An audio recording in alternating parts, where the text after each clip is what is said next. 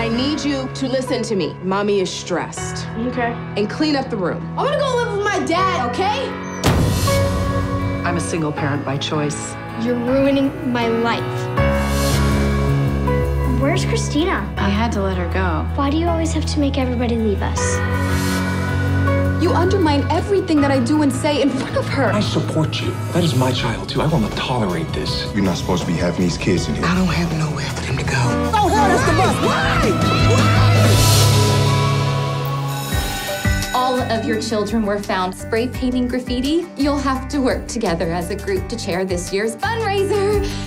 Yay! Girl, she need a Valium.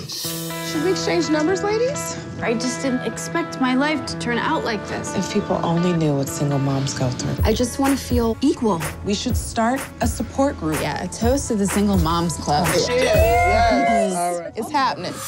Now, with a little help. I'm in charge of this fundraiser. I might be able to use your help with sound, lighting. You know, you've got real beautiful eyes.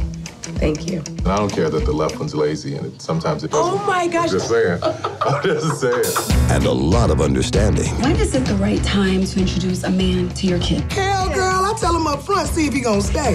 These different women. You need to make an executive decision to get back on the horse. And by horse, I mean your neighbor. I want a revolution. We'll discover how much they have in common. I bought you some flowers.